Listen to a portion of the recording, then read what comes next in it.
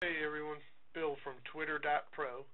Uh, today we're going to make a quick tutorial. I'm going to show you how to create an animated avatar for your Twitter profile.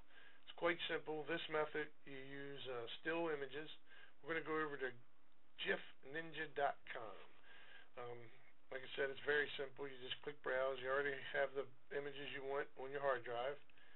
Double click them. You can load five here. Uh, you got to keep it to under 700k.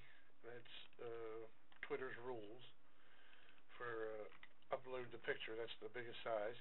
Uh, after you choose your five images you want, you choose the speed you want. You can make it slower, faster. I'm going to go right here.